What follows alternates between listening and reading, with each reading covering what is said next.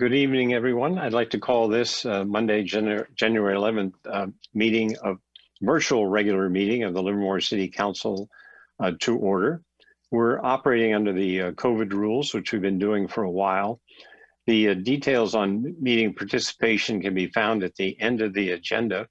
Uh, would the city clerk like to highlight anything with regard to the rules? Yes, thank you, Mayor. When the public comment period opens for the item that you wish to speak on, members of the public can participate by using the raise hand feature or star nine if you're calling in, and you'll be unmuted by the city clerk's office and allowed three minutes to speak. Okay, thank you. I'd like a roll call, please. Councilmember Kiick, Here. Councilmember Carling, Here. Vice Mayor Munro, Here. Mayor Woerner. Here. Now, would you um, join me in the uh, Pledge of Allegiance? We'll show the uh, flag. And if everyone else can be on mute, I'll just uh, recite the words while uh, we get the meeting going. So I pledge allegiance to the flag of the United States of America and to the republic for which it stands, one nation under God, indivisible, uh, with liberty and justice for all.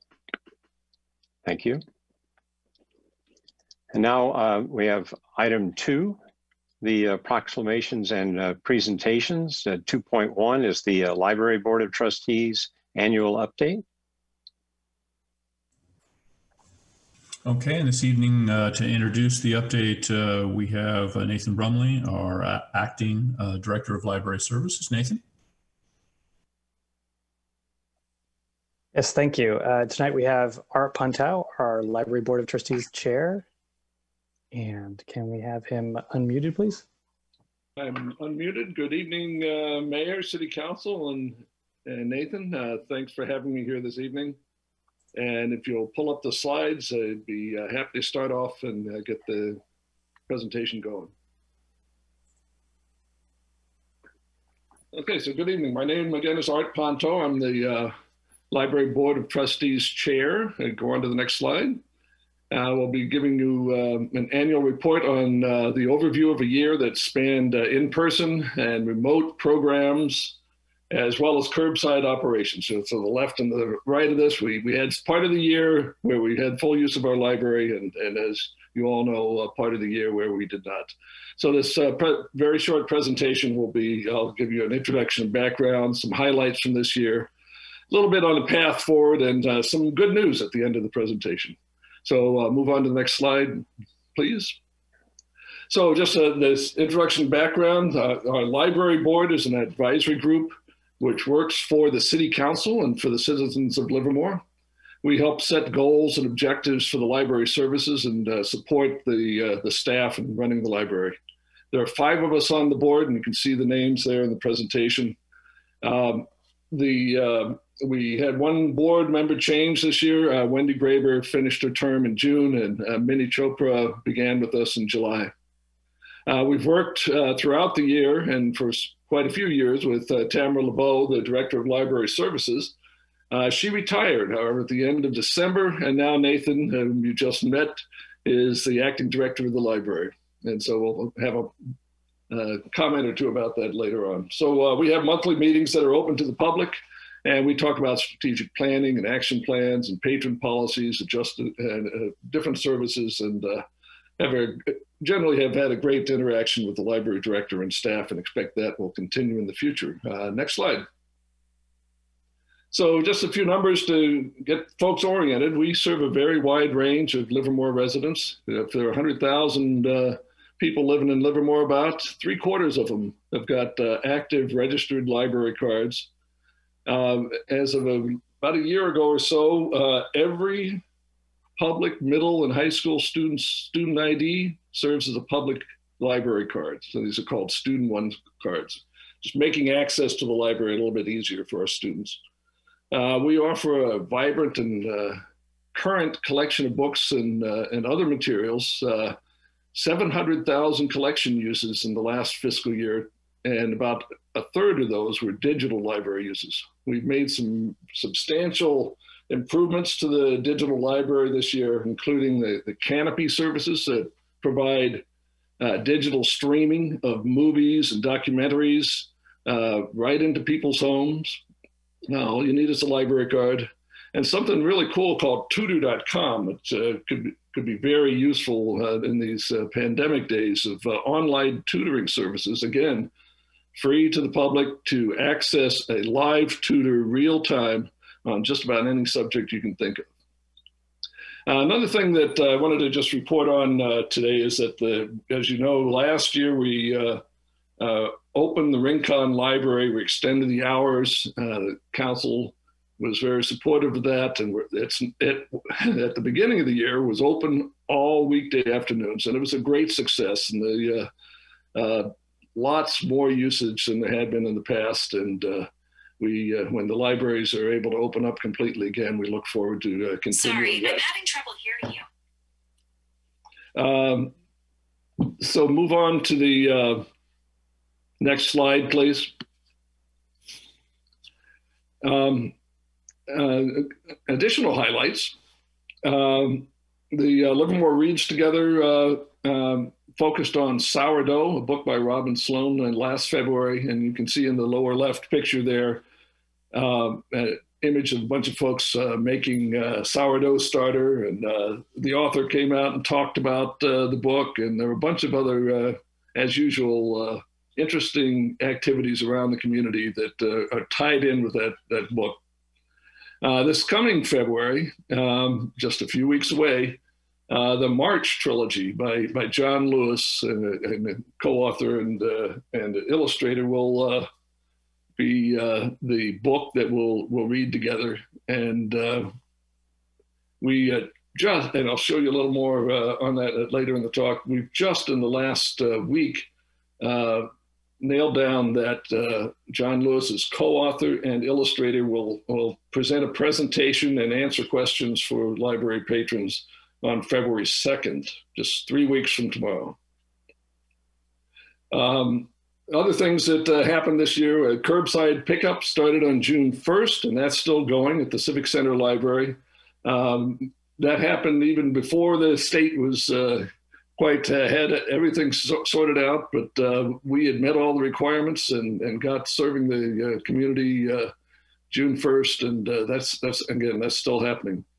Uh, a lot of other stuff that we usually do in the library, like the summer reading program and a, a lot of other uh, programs that used to be done in the library live, uh, were done remotely this year. And so the, the staff found lots of creative ways of uh, connecting with the community and still providing uh, library services. Uh, the Civic Center Library was actually reopened briefly at the beginning of November uh, with uh, by appointment uh, only with uh, very limited access. Folks were coming in and leaving with stacks of books. And uh, unfortunately, that had to shut down again, but the staff is ready to reopen again as soon as conditions permit. So next slide, please. I just want to say a couple uh, uh, words about the strategic action plan. We we uh, we the, uh, library director and staff uh, went through quite a process previous year, develop developing uh, strategic objectives that are sort of outlined in the three bullets there. And this year, action plans to implement those strategic intent have been underway and uh, so this isn't just a, uh, a, plan that's sitting on the shelf somewhere. It's it's turning into uh, real live actions by the staff. So the three three main points were to promote literacy in all its forms for the community, to affirm equality and inclusion, a very timely topic for the community, and then also to enable com all community members to participate and benefit from library services. We find people come into the library say, uh, saying, well, "We wish you had this." Turns out we do have that and so sometimes the challenge is just to make sure that uh, folks know what uh, what a great place our library is. Uh, next slide. So looking forward, um, as, as I've indicated, the city can be really proud of its library facilities and the talented staff. We have a healthy friends of the Livermore Public Library. They've uh, been very uh, active even during the, uh, the difficult times and have, have um, continued uh, healthy donations and enabled some of the uh, digital uh, improvements to the library that are especially useful in these times. Uh, we did lose our exceptional library director to retirement. Uh, and Nathan is a is a great acting director, um, but we'll will need to find a, a permanent director. And the board is is happy and ready to support the search process in any way we can. And um, overall, we invite the uh, city council's advice and uh, any community input that uh, uh, you'd like to share with us on the board to help support the, the action plans and the uh, moving forward and helping the library be all it can be for the community. Uh, next slide.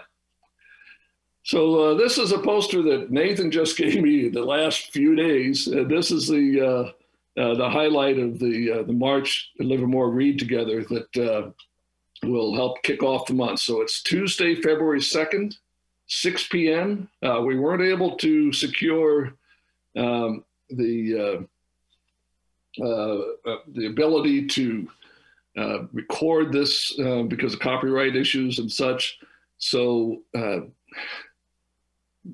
connect via Zoom at, at 6 p.m. on February the 2nd for a conversation with John Lewis's co-author, Andrew Aydin, and with Nate Powell, his illustrator. And uh, I'll tell you, a few years ago, some of us had a chance to see uh, John Lewis and uh, Andrew Aydin at the American Library Association meeting, and it was just fantastic. Uh, the book itself is is is extremely timely right now, and it's uh, it's a powerful uh, description of some of the civil rights activities many years ago with uh, that John Lewis was a, a, legendary participant in. I'm really looking forward to uh, our community having a chance to uh, take a look at this book and, and other activities that'll be scheduled throughout the month. So watch for those announcements of other activities. And finally, moving on to the last slide here, I just want to uh, acknowledge uh, a, uh, a, very generous donation of, of money for, uh, and resources uh, funded in uh, memory of Yuli Pan, a Livermore resident and LLNL retiree and, and devoted library patron by his family in the hope that his life's passions may benefit the library and community that were his home for 50 years. So that's, uh, you can see that statement at the bottom of the slide. The investment were to support library services in three primary uh, areas that he was very passionate about with regard to an investment center. And you can see three particular resources there in cultural diversity and also in education, supporting the tutor.com um, uh, resource. So all of these capabilities will be up and running or already up and running. And uh, because of the generosity of uh, Yuli Pan and his family, uh, we'll have at least four years of uh, use of each of these uh, capabilities that should uh, really enhance the uh, digital uh, collection that we have to offer the community. so with that, I'll, I'll, just say thanks to Yuli Pan and his family and conclude the presentation and ask the council if you have any questions. I'd be happy to talk about anything you would like to talk about. Well, thank you, Art, for that uh, very good report. Uh, very uplifting to see all that's going on, even in these uh, troubled times. And I wanted to thank you and your uh, Board of Trustees for all you do to keep our library such a valuable and well appreciated uh, asset for the community. And it certainly is one of the ones that is highly uh, used and and and very. I think I think it's um, you know it's out um, a highlight of our community to have this uh, library, and I think other communities recognize how well it's done. So, any other council member want to make a comment or ask a question? Vice Mayor Munro. Uh, yeah, so I will. I'll second that. Um, library is probably my favorite place to go, and of all the things I've missed this year, that this might be the, the thing I miss the most. Um, I wanted to add, uh, uh make just a couple other note that actually on Monday, February 1st at 6:30, there is going to be a panel discussion on racism that kicks off. Um, it is part of the Livermore Reads Together program. Um, so um, uh, I don't really want to share my screen right now, but um, if there's a, if it's available, um, I, you can look under Livermore Reads Together and you'll find it there.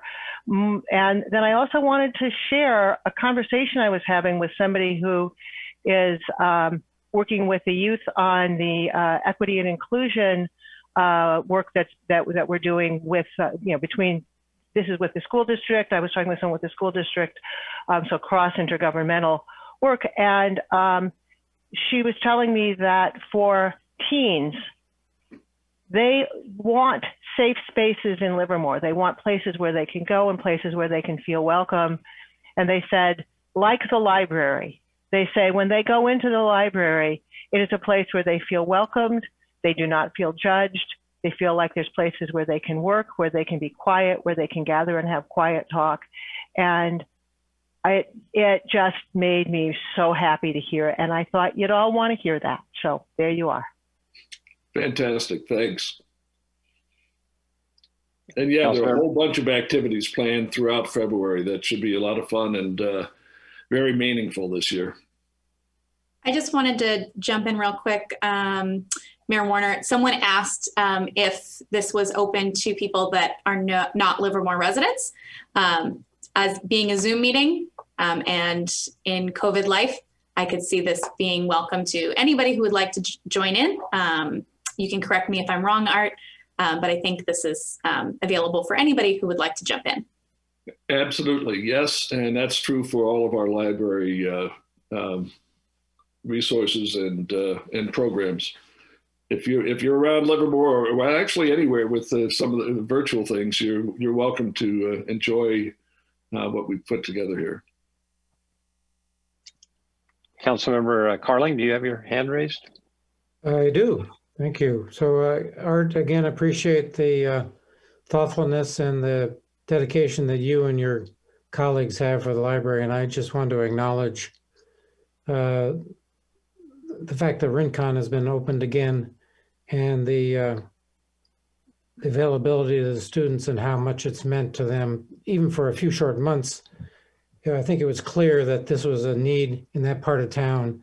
And I appreciate you working with Tamara and others to uh, ensure that that was open in the afternoon for the folks in living in that part of the community. So thanks again.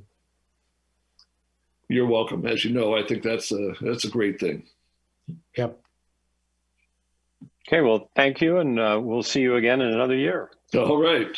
Bye bye. Okay. Now we're going to move to uh, item uh, 2.2, the confirmation of advisory body appointments.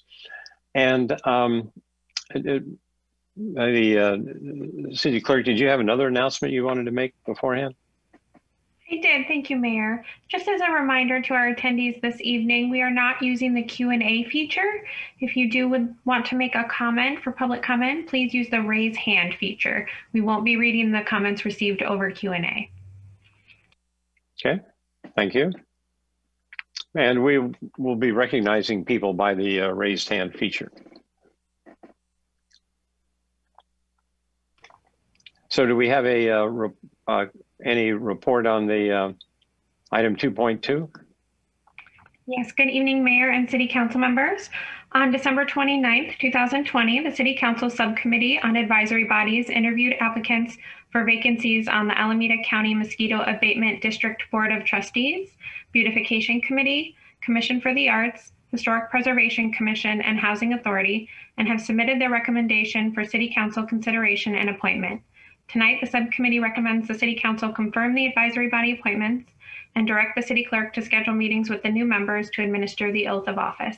And I'm available for questions.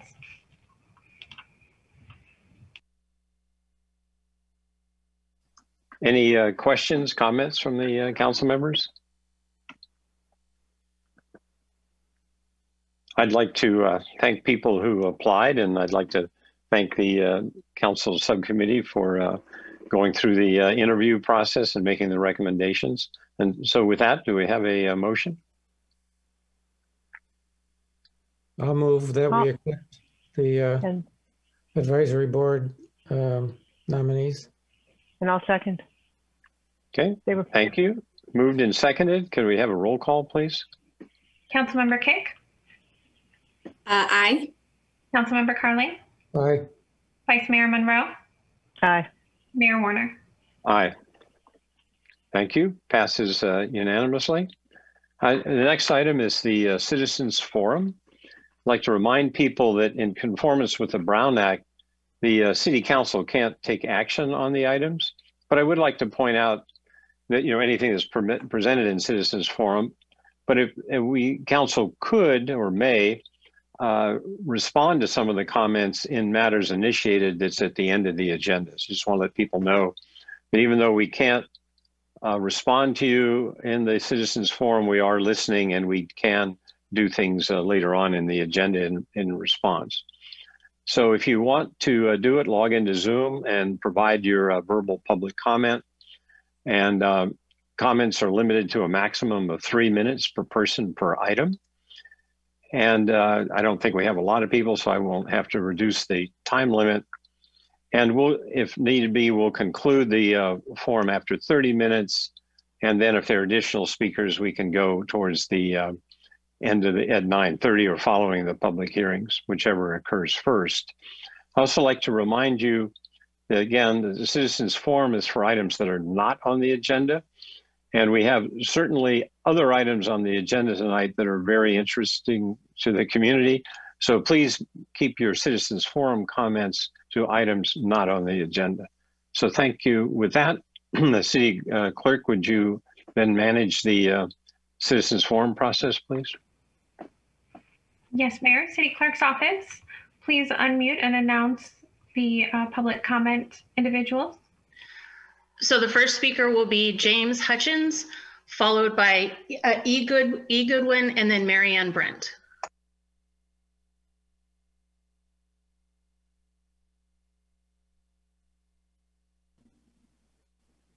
Hello, can you hear me? Hello? We can hear you. Okay. Thank you. Uh, my name is James Hutchins and I live in Livermore. I wanted to let the council know that I feel the changes to the Eden Housing Project are unacceptable and why. In 2018, the council approved a plan to build 132, or I'm sorry, 130 units, which they called workforce units on the old Lucky site, and they enlisted Eden Housing to operate the project. A diagram was presented to the public to show what the project would look like, and that diagram showed four buildings separated by a park, creating a green area extending from Livermore Avenue to L Street. However, in last month's workshop, Eden Housing presented the city with a very different design. Their new design had two buildings instead of four, and those buildings were in total much larger than the previous design. The park between them had also shrunk by a third, and almost half of what was left is now hardscape, meaning hard surface like concrete. The total green area is only a third of the original design. We also learned that the units would only be available for homeless or low-income families. Eden claimed these changes were necessary to meet financial requirements for the funding. And I have a problem with what has happened. These are not small changes. The buildings are an estimated 42% bigger, and they have virtually eliminated the setback from L Street. Uh, so the buildings now come right up to the sidewalk, as well as the path uh, by Stockmen's Park. They will now be much more imposing structures on our downtown appearance. Second, the shrinking of the park and the loss of two thirds of its green area means it's now more of just a passageway between the buildings rather than a park. Third, while the original plan had a majority of the units allocated to low income, the council said many of the units would be for workforce housing, which by HUD usage is 80 to 120% of the area median income. Today, the plan is for all of the units to be for low income, so there is no workforce housing. I know some have used the term workforce just to mean that the occupants work, but that is not how the federal government uses the term, and I think it is a misleading use of the word in this context. Fourth, changes to the kind of the units were stated in Eden Housing's January 2020 A1 funds application. So by January 2020, Eden knew that the plan everyone was looking at was going was not going to work. Yet it was only in December of 2020 that they told the public. And since the city was watching over the process, they would have seen these changes in the application and also known that the public plan wasn't real. Yet for a year, neither Eden nor the city said anything. And understand that January 2020 is when they put it in print, uh, when they sent it to the county. So they knew well before then that it was not going to work. People kept using it and talking about it, and especially in the Measure P arguments, yet no one said anything. So at a minimum, Eden lied by omission. Finally, the uh, county, or I'm sorry, the city put out a list of priorities. Number one was parking, two was community character, three was open space, and four was traffic. Yet these changes go against all four of those priorities. I think this is a serious violation of what people understood it to be and approved. Thank you.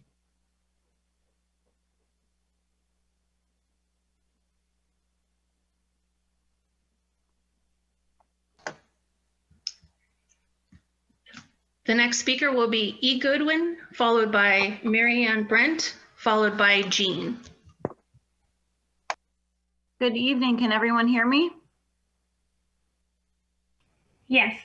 Great. Well, thank you so much. My name's Emily Ramey. Goodwin is my maiden name. And I work for Ygrene Energy Fund. Ygrene is the word energy spelled backwards. Um, I've spoken at public comment before, and I've been very grateful to work with uh, Livermore City staff uh, over the last year plus in trying to get our PACE financing program in front of City Council for consideration. Uh, the city has already adopted another one of our competitors, so you do have one PACE financing option operating in the city, but uh, your current option does not offer financing for small and mid-sized commercial properties. We are the only PACE provider that um, offers small and mid-sized uh, commercial PACE financing. And we have a few projects locally that are wanting to use our program specifically. Uh, those include a church, a nonprofit center, two small retail centers, uh, and a large uh, corporate campus. Um, so PACE financing, for those of you new to council uh, and or other members of the public, is a way for property owners to make energy saving, water saving, uh, renewable energy upgrades to their properties. And of course, that's good for meeting public policy goals for the city. Uh, we also finance electric vehicle charging uh, infrastructure, and we also most currently uh, offer fire prevention uh, measures. We also do seismic retrofitting as well. And so in my discussions with uh, Adam Water and Teresa de la Vega from the uh, Office of Innovation and Economic Development, um, those features of what PACE financing can um, can cover was very important in meeting disaster preparedness goals. And I know that was a big initiative for the city last year when I met with them. Unfortunately, COVID sort of pumped the brakes on the momentum we had building early on in 2020. And we were working towards getting an agenda date uh, very close to come in front of council and simply uh, be considered to add more choice and competition to your constituents. Uh, but for some reason, um, it's sort of come to a screeching halt. And so um, I'm here to remind council, uh, the city manager and staff from that office or anyone who will take it on to uh, allow us the opportunity to serve constituents who want to use our program specifically and simply add more choice and competition from a very viable and credible PACE finance company, which is Ygrene, uh, that makes the uh, customer experience better. So thanks so much for letting me speak tonight. Uh, I know you're talking about your climate action plan update. So separate and apart from that agenda item, I will say that hundreds of cities across the state have included PACE as a tool within their climate action plans to meet goals that they establish. So it's a very well-known tool uh, for climate action plans and uh, appreciate your time this evening. Thank you.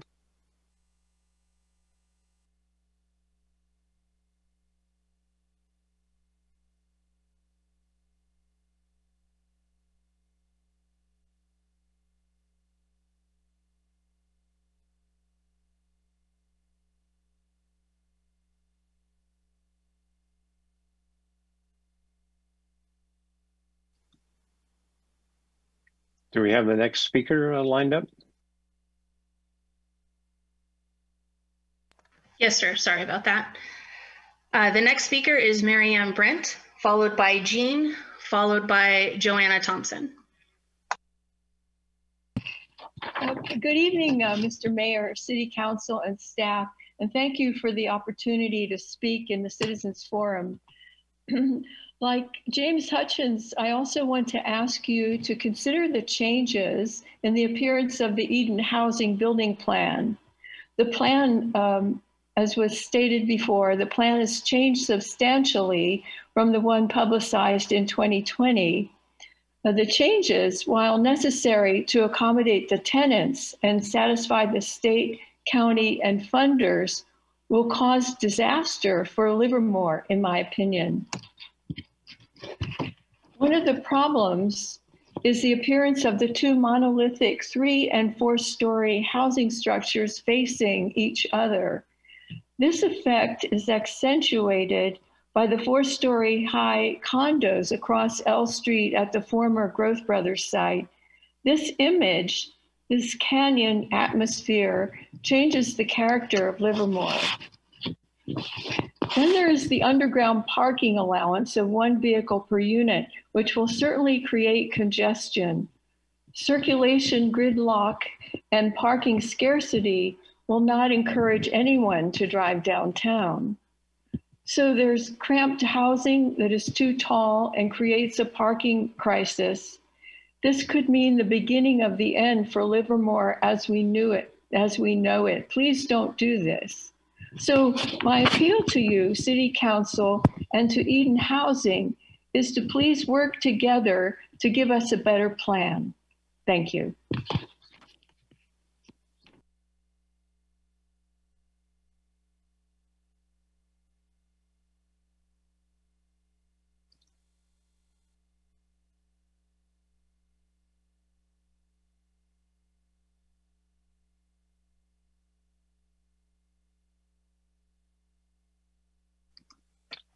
Do we have the next uh, speaker?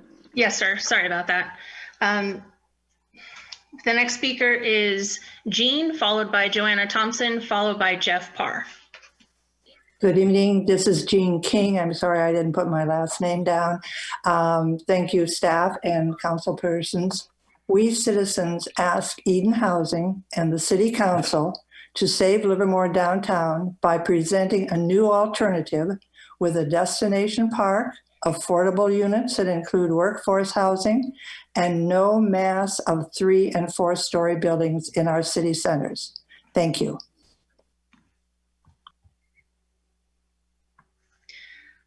The next speaker will be Joanna Thompson, followed by Jeff Parr, followed by Cal Wood.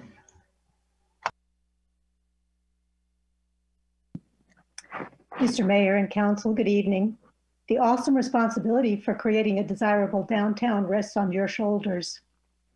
You could choose to create a downtown that invites people to visit and to linger, a downtown they will want to return to again and again.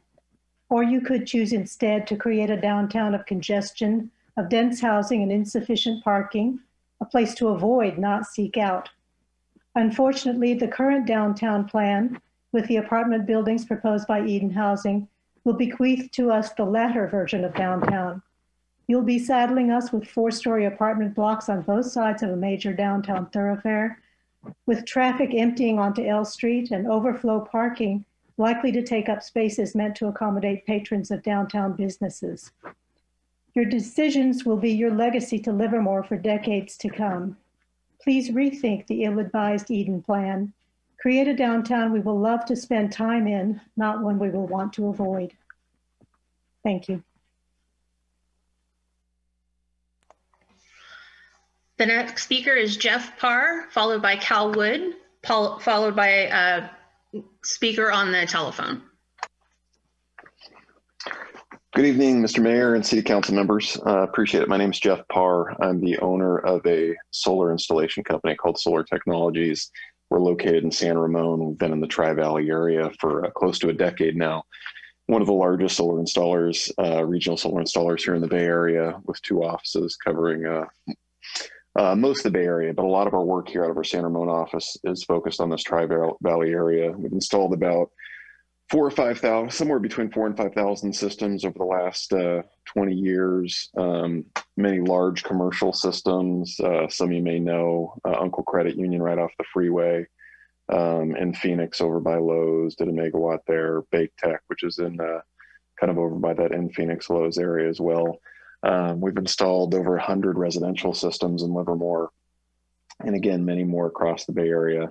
Um, getting back to Emily's point earlier, PACE is an excellent way for homeowners, business owners, small, medium, even industrial customers to be able to turn to solar power and be able to finance these systems. Uh, the upfront payment can be a bit daunting. And with PACE financing, it gives them an affordable means to be able to pay for these systems, finance them, uh, get positive cash flow in their businesses, especially in this climate. You know, can help them economically. Um, we've worked with a variety of PACE providers over the years. Uh, we work almost exclusively with Ygrene at this time. Um, over the years, we found that they are the best PACE option out there. They're the best, um, the best people, the best choice, the most transparent, the best with customers. Um, and I think it's been about four or five years now that we've worked with them. They've they've come through for our customers every single time. So my request to uh, to the council here is to consider Ygrene and, and approve them to be a provider within the city of Livermore. It's definitely something that contractors like myself would want to be able to bring to customers. I think it's something that customers themselves, whether it be business owners, um, houses of worship, uh, committees, um, nonprofit charities, homeowners, etc. Um, everyone in the area is going to want more choice. They're going to want um, options to choose from, and there can't be, given that PACE is already being offered, there can't be anything anything wrong or any harm brought to uh, to Livermore. Nothing but benefit by offering more choice to uh, to the patrons there, to the contractors, to bring solutions to uh, to the residents and business owners of Livermore. So I ask that you ask why you add Ygrene as an approved provider um, to the city of Livermore. Thank you. The next speaker will be Cal Wood, followed by a caller with the last four numbers of 3996, followed by Jackie Cotta. Hello, I'm Cal Wood. Uh, can you hear me okay? Uh, I didn't get any response. Can Yes, you we hear can. me? Okay. Uh, the previous speakers have all spoken about the changes in the Eden Housing uh, Plan. I certainly agree with that. I would like to see that the City Council uh, is now able to and willing to respond to citizens' uh, ideas in ways that are really important. In this case, the changes have vastly uh, hurt what was originally planned to be for downtown. And I would like to urge the city council and the mayor to put in some time to find a much better solution. There are several things that people have suggested, but uh, I believe that you can find a way to do much better about downtown to give us a larger park, uh, as we had been promised. And uh, uh, I certainly would like to see the city council be prepared to spend a little time and effort to get this thing done because I think you can do it. Thank you.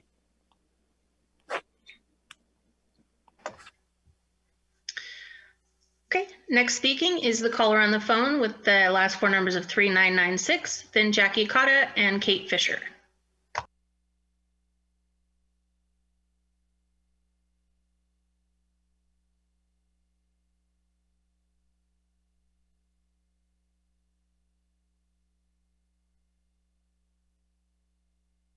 Caller, you've been unmuted, or you were unmuted.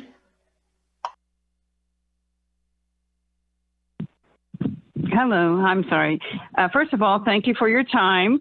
And this is Melissa Lynch. And I just have a couple questions. Uh, this is my first city council meeting. So uh, my first question is there's a letter dated December 17, 2020 from Mayor Woerner that promised a letter of list of lessons learned.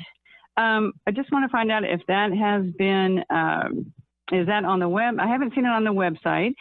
Has that been produced and, and will it? What date? I would, I would be interested in seeing that. Thank you for your time on that. Uh, another question too is I noticed on the city council application uh, was due on December 27th and the interviews on December 29th. Can you provide the process of, uh, of this uh, interviewing contact and uh, give, provide more information on that? And if there's somebody I would talk to or email instead of this forum, uh, that would be great if you could just let me know that. And once again, thank you for your time. Okay, the next speaker is Jackie Cotta, followed by Kate Fisher.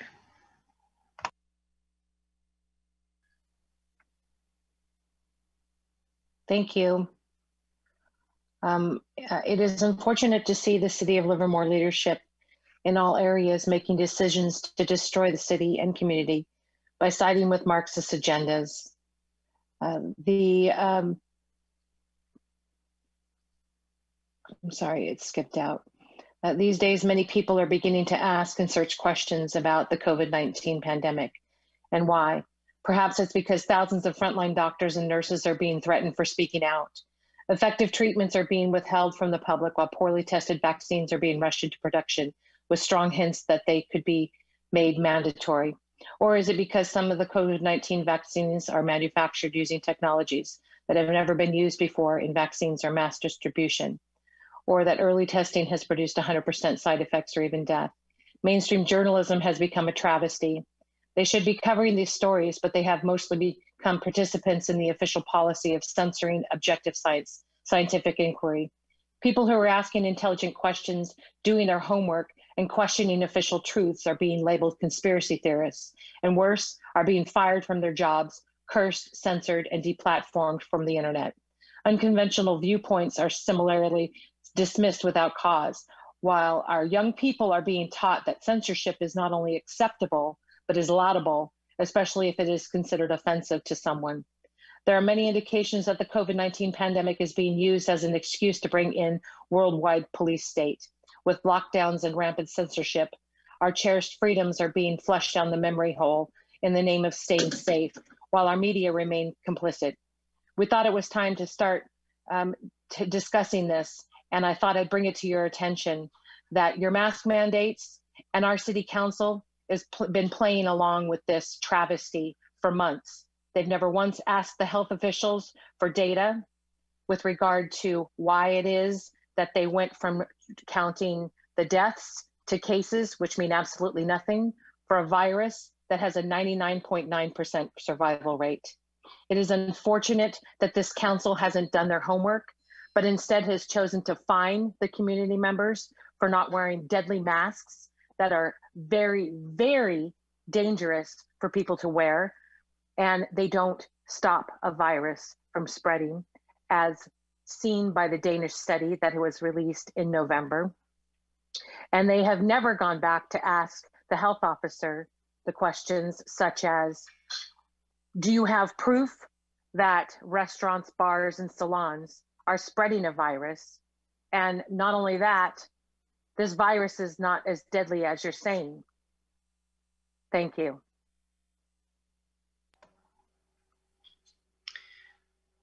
The next speaker is Kate Fisher. Hi, my name is Tim Twitty. This is my wife's uh, profile. And uh, I just wanted to start off by saying I think there's a lot of great things happening in Livermore. We're developing our downtown. We are uh, coming to a place where the city just is accepting of a lot of people. Uh, the reason I'm talking today is about the empty property on First and Second Street, uh, right next to the townhouse buildings. I live in the Palisade, and it's become a safety issue and a hazard having an empty lot there. Uh, I walk my dog, and I see people walking their children. And there's a lot of break ins in cars now, a lot of glass, a lot of garbage just all lined up along First Street. And, you know, while a lot of people are worried about, you know, beautifying downtown and everything else, this is really just a matter of safety in order for people to walk downtown safe or walk back to their home safe. Uh, occasionally, they will trim some bushes in there. However, it's just not enough, and something needs to be done about the property. Uh, as far as I knew, I, rumor is it's owned by the Bankheads, which we have a beautiful theater, and we just need to take care of their other property the same way we take care of uh, our theater. So I don't want to take up too much time. Uh, I think there's a lot of things that Livermore is doing well. I actually appreciate the fact that we're enforcing masks downtown, being that my wife's in healthcare, and uh, we're you know we're in a state where we all need to come together as one to kind of fight this and get back to a spot where we can enjoy downtown and enjoy outdoor dining and uh, build in the future. So, but something needs to be done about this field because as we're beautifying our city, we're doing harm by having a, a hazard on a corner in such a city. And that's it. And that concludes the speakers. Okay, uh, thank you very much for your input and uh, rest assured we have been listening to what was said and the appropriate uh, city staff member or other items will, um, other people will, will be taking action uh, as needed on these things. Uh, if you have uh, items, for instance, in neighborhood preservation or something, there is a path to submit uh, uh, complaints or observations directly into the uh, city. City manager, could you just let people know how that's done? So um, if you go onto our website uh, and actually look up neighborhood preservation, there is a, a, a place to submit um, direct comments, uh, an email uh, address, or um, phone numbers for neighborhood preservation as well. So simply go to the uh, website, type in neighborhood preservation. Um, it'll take you right to it. Okay, thank you. And uh, with that concludes uh, Citizens Forum, and now I'd like to turn to the consent calendar. Are there any items that the um, city council members would like to pull for discussion? Um, I was, I can ask uh, Mark Roberts if this is an appropriate item to pull or to discuss. Are we allowed to discuss the items without pulling them? Um, item 4.4? If you have questions about item 4.4, we can certainly respond to those. Okay, are there, uh, before we go into detail, are there any other items that people would like to uh, discuss? Okay, and I'd also like to, at this point, find out, do we have any um, uh, public comment on the consent calendar? Mayor, no comment has, has been received. Okay, well, with that, uh, let's uh, uh, discuss the item that Councilmember Kiick would like to do that. And then uh, you can answer the, uh, the questions, and then with that, we can then proceed with the entire calendar. Okay, great. Um, so item 4.4 is the Vasco Road widening.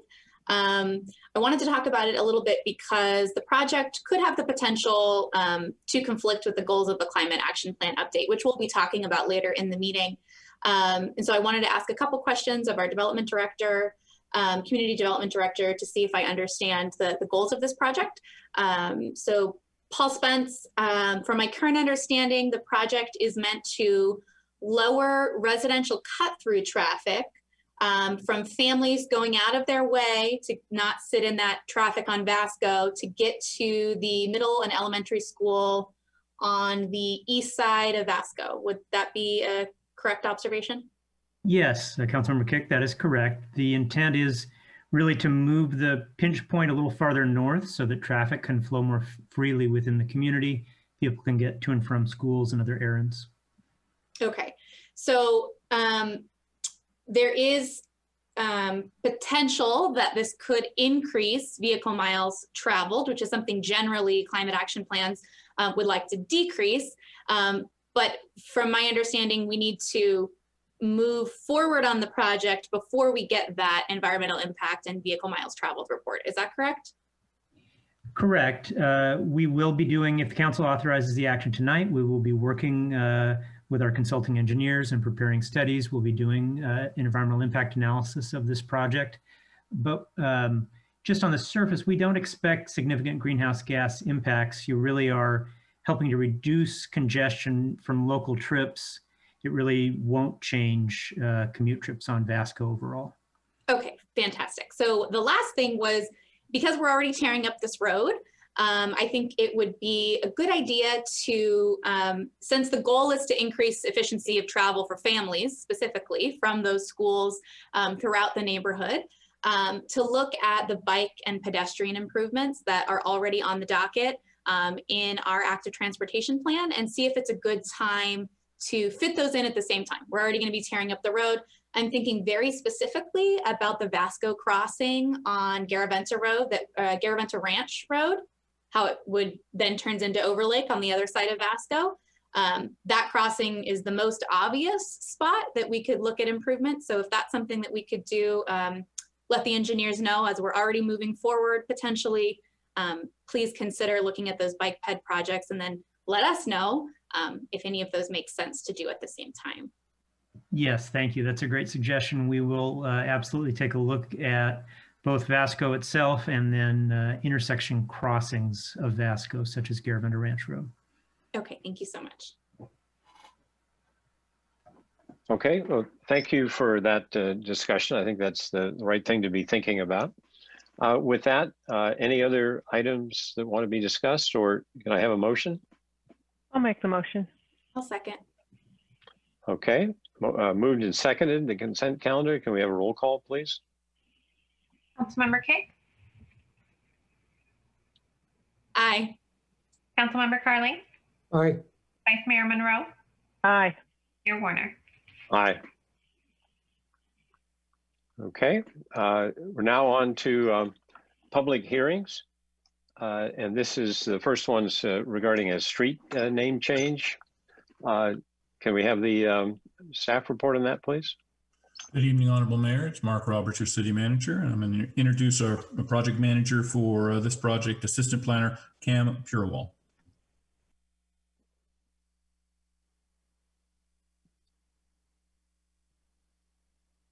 Good evening, Mayor Woerner and City Council members.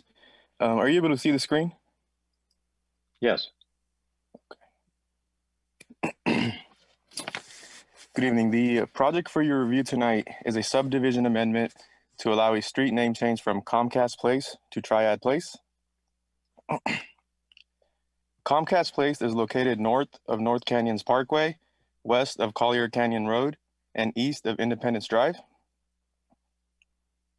Comcast, um, in 2009, Comcast Corporation signed a lease for all three buildings on the site. The original street name Triad Drive was changed to Comcast Place in 2009. Comcast leased all three buildings on the site, and in 2020, Comcast Corporation recently consolidated their office space from all three buildings. The building at 3077 Comcast Place will now be vacant. The applicant is requesting a name change to Triad Place, which is similar to its originally approved name. This will enable the applicant to advertise the vacant building with a more conventional street name. Changing the name to Triad Place provides consistency on the northern and southern portions of the street along North, North Canyons Parkway and provides a neutral identity for the office park. Staff has reviewed the proposed street name change to Triad Place and has found it consistent with the city's street naming policy established in City Council Resolution 37, 372 91. The project is also consistent with the general plan circulation element. All required agencies have reviewed and approved the proposed street name change. The City Council has the authority to approve a street name change after public hearings by the Planning Commission and City Council. The Planning Commission reviewed the proposed street name change on November 17, 2020, and voted unanimously 4-0 and recommended approval.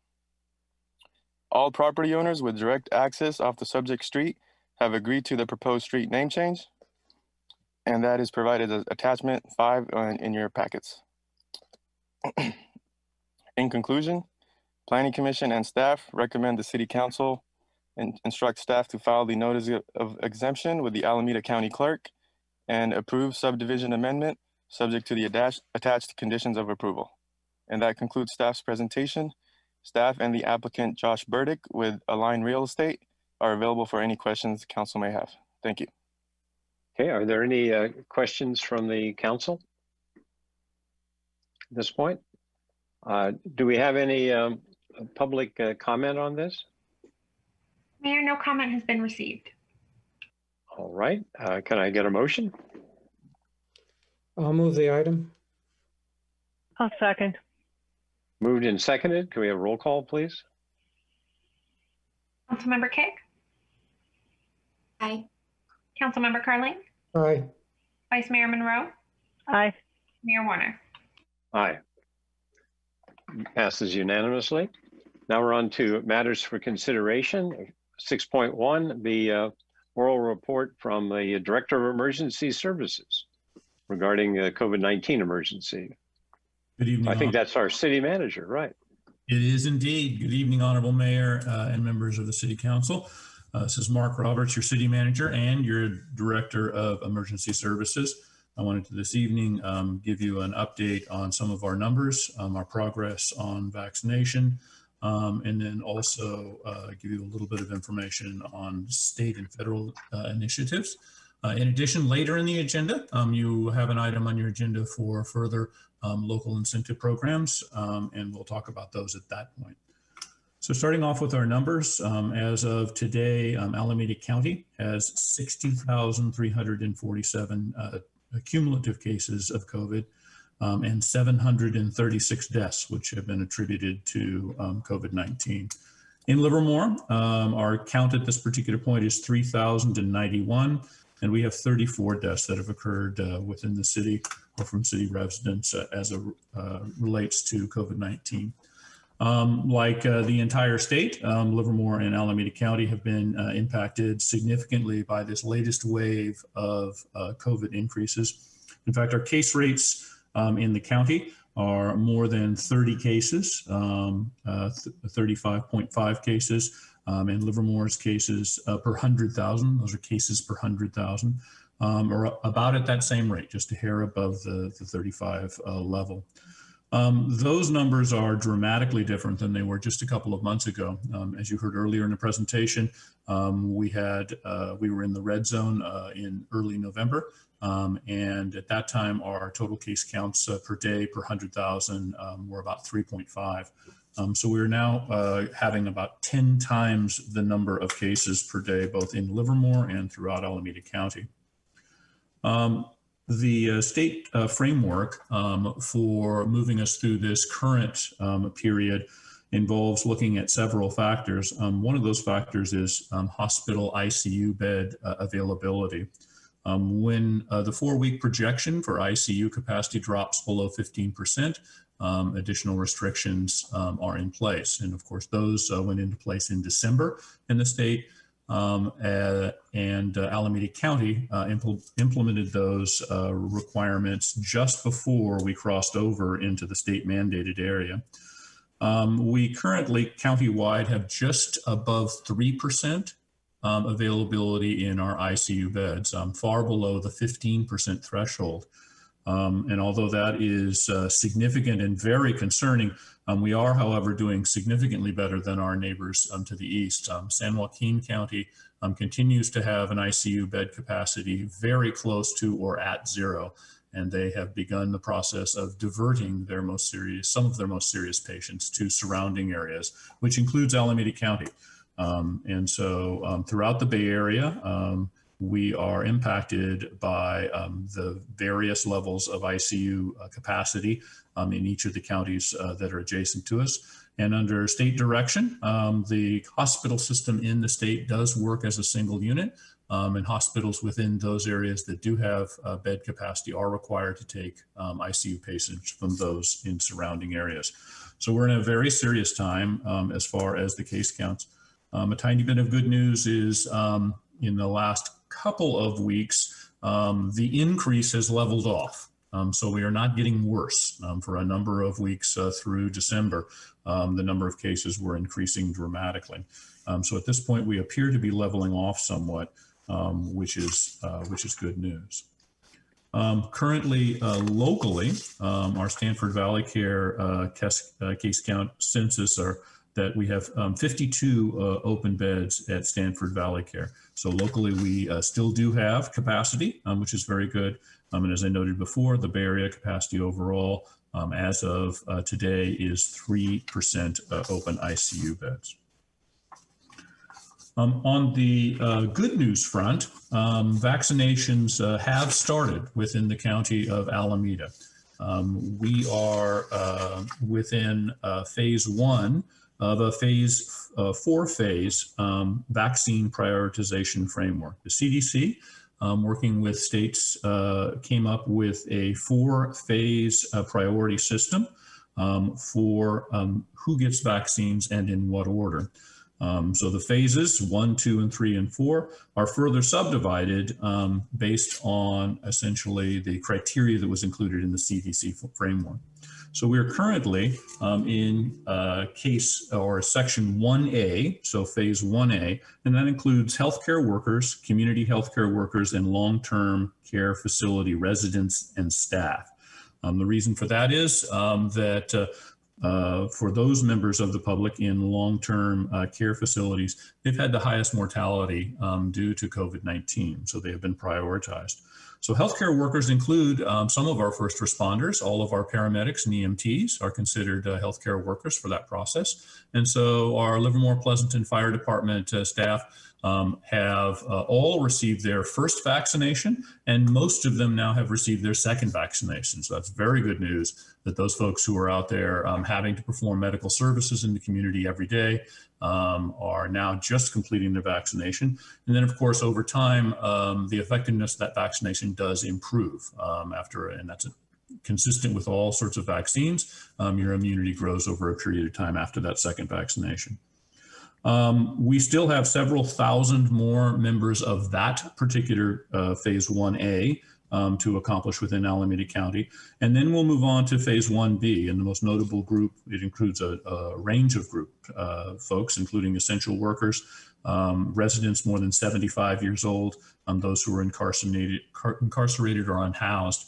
Um, we continue to have the uh, highest mortality um, from those who are 70 or older. Um, those who are 80 or older um, have uh, extreme mortality from COVID-19. Although our greatest number of infections now uh, is in uh, our age group 20 to 40. Um, and uh, even though um, most of those, the vast majority of those, uh, survive in those younger age frames, um, there are uh, at times significant side effects that appear to be long lasting. So we're concerned about those infections as well. Um, phase 1C of the vaccination uh, program includes essentially uh, governmental operations staff, um, adults essentially 65 uh, and older at that point, and uh, people aged 16 to 64 who have significantly higher uh, risk of underlying health conditions. Um, after that, we have phases two, three, and four um, to get the remainder of the population vaccinated.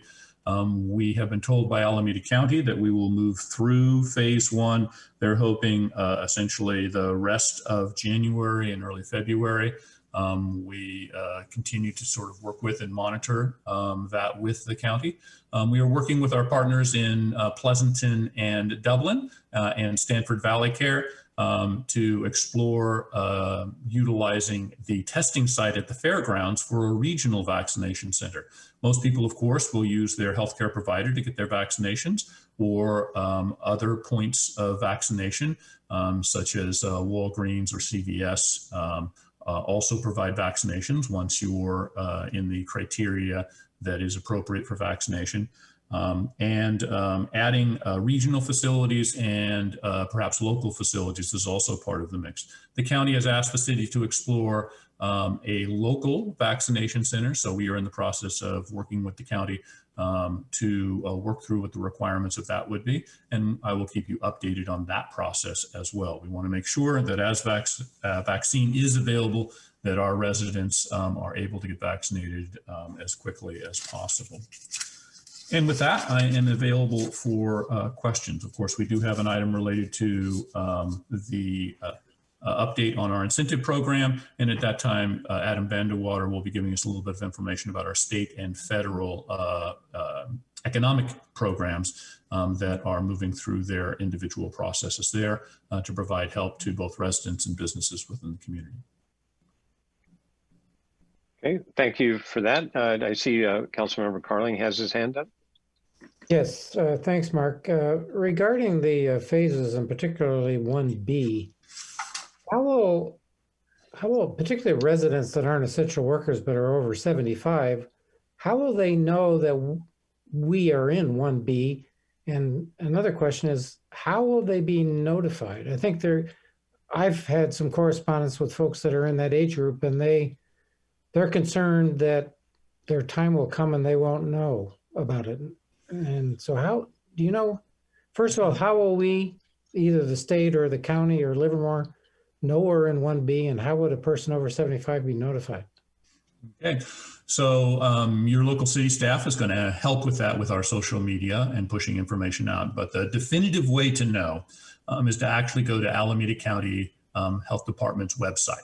Um, and on that website, um, you'll scroll down, scroll down, there's a number of different sections in it, and one of them is vaccines. Um, and in that section, it does tell you um, what phase we're in, and that's your absolute best way to get there. Um, so from that perspective, uh, that's the primary. And then um, we do continue to expect uh, that the news media will uh, locally will continue to track what phase we are in. We're seeing only a little bit of activity on that front right now because the general public is not um, uh, generally being reached out to. But as we move through the rest of phase one and then into phases two, three, and four, um, we expect that to become, you know, essentially part of your nightly news feed or a program, depending on how you get your news. But the best way is to go right to the website, and we'll um, we'll point people in that direction from our website as well. Good, thank you. Vice Mayor Munro. Right. Uh, so I was actually a very similar question, and I, th- I think you actually addressed it. It was simply uh, checking it on our own website and making sure that the information was there. Um, and I think you just told me it was. And we'll continue to update that as the circumstances change. I don't know where Councilmember. my, my hand is, but I'm just gonna, that's okay. Um, do we um, have an update about um, how we will inform and work with the unhoused population once we get to that point? Obviously, their access to news um, might be different than um, a a housed population. It is. And so we will be working with our nonprofit uh, providers. Um, we do, as you know, of course, have staff who are out um, uh, among the unhoused uh, every day. Our housing, uh, our um, homeless liaison officers in the police department, um, our partners from Access and others um, are uh, out in the groups each day. We'll also be coordinating with the county, um, who is at this point contemplating um, targeted uh, inoculation centers um, targeted at the homeless population. So coming to them and helping that process. Um, in addition, of course, a number of our formerly uh, unhoused population are now uh, taking uh, advantage of several of the programs that have um, been funded by the state and implemented by the county. And of course, those folks are in a more stable uh, environment and will get information um, as a part of that. Um, but we will be reaching out through our nonprofit providers, our own staff, and then working with the county on directed inoculation. Okay, I've got a uh, couple of questions, suggestions. You, um, you know, at the beginning gave some uh, numbers and uh, particularly the uh, mortality rate. I don't think that's on our website at the moment, is it? That's correct. We do not, we, while we have cases, we don't have total number of deaths. And it may be worth adding that, uh, just in the sense that you hear people making comments that, you know, it's much lower than it is or whatever. So that could be helpful. But I thought some of the other um, report outs that you had on the ICU capacity, I don't think that's on the website either, is it? That's a great question. That actually is directly on the county's website, um, on their front page there, but I don't believe it's on ours. I would just suggest that if we could add a couple of key numbers that, that I just mentioned there, that would might be uh, helpful as, as well. So, but thank you for that uh, report. Are there, uh, at this point, do we have any um, public comment with respect to this item? City Clerk's Office, please unmute attendees who would like to speak. The speaker that we have is Jackie Cotta.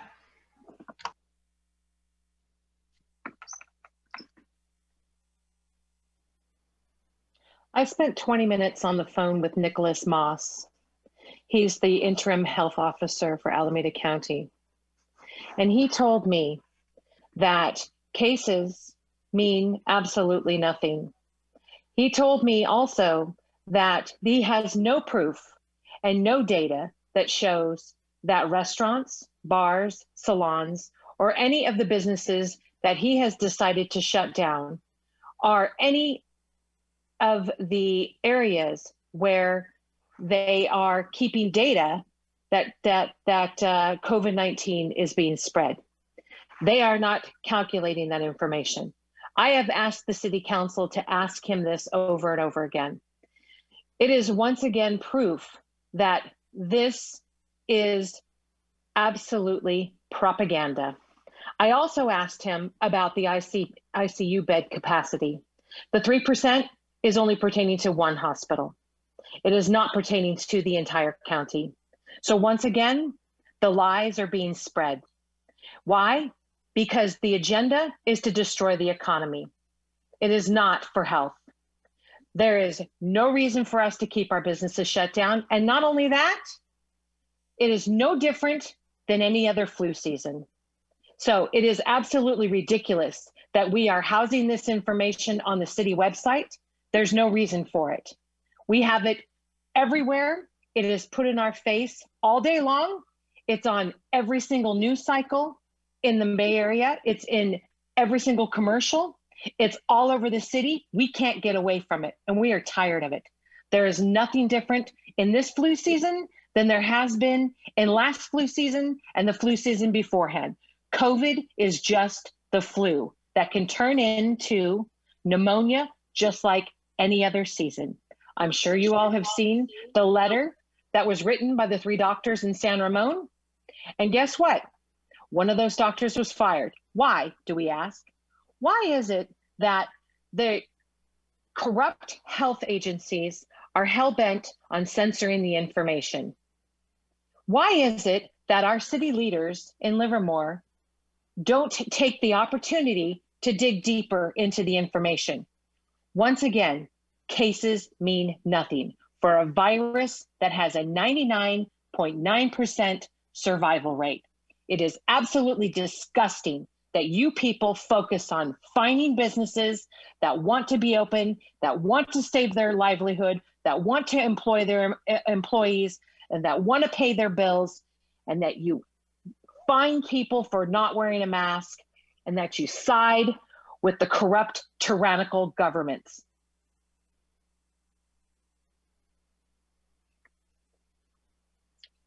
Okay, do we have any other uh, public comment on this item?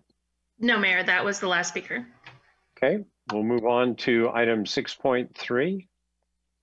The, um, now on to the uh, financial relief efforts. Are you um, meaning to reorder the agenda? Oh, no, I, I'm sorry.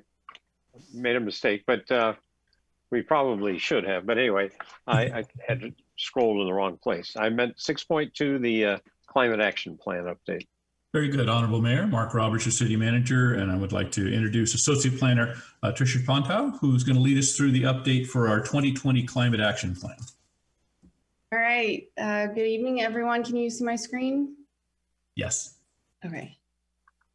So we've been working on our updating our climate action plan for about a year now. So we wanted to check in and show you all what we've been working on. Uh, for a little bit of background, we have a climate change element in our general plan that was adopted back in 2009, and it called for the adoption of a climate climate action plan.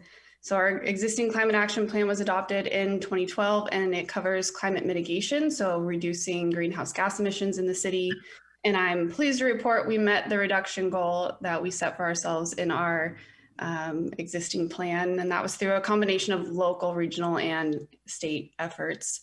And so now there are some new state requirements for local climate action planning. Um, the state now requires that cities consider climate adaptation or how a city will prepare for the impacts of climate change. And the state has already has also established some new statewide GHG reduction targets. So that's kind of driving the the um, update for our climate action plan, which council instructed us to do. And we, uh, and they approved a contract with Rincon Consultants in January of 2020, of 2020. And you'll hear from Ryan Gardner from Rincon Consultants after my presentation. So the 2020 Climate Action Plan scope has essentially four components. The first is the mitigation, so continuing to reduce our greenhouse gas emissions in the city. And then the new adaptation component, which is preparing Livermore for the projected climate change impacts that we are expected to experience. Uh, the third is engagement. So obviously the point of this plan is to help maintain the health and well-being of our community. So we want them involved with this plan and get feedback from them. And then the fourth is the implementation plan. So what are we going to do? How are we going to pay for it? How are we going to stay on track to make sure we're meeting our goals? So the past year has been focused a lot on the mitigation and adaptation components, a lot of te- technical analyses that Ryan will get into later, but um, I'm gonna talk a little bit more about our engagement that we're working on. We're gearing up to kick off a bunch of uh, community outreach. So um, one of the first things we did was to get our Citizens Advisory Committee on board. So we have a Climate Action Plan Advisory Committee that was appointed by City Council. It's 11 members of Livermore residents who meet on the first Wednesday of the month at 7 p.m. The meetings are open to the public. Anyone's um, allowed to participate. And we've got a really really passionate and engaged group. Um, and they so far have been reviewing some background information, reviewing the technical analyses I mentioned, and currently they are starting to refine their list of recommended strategies to include in the climate action plan.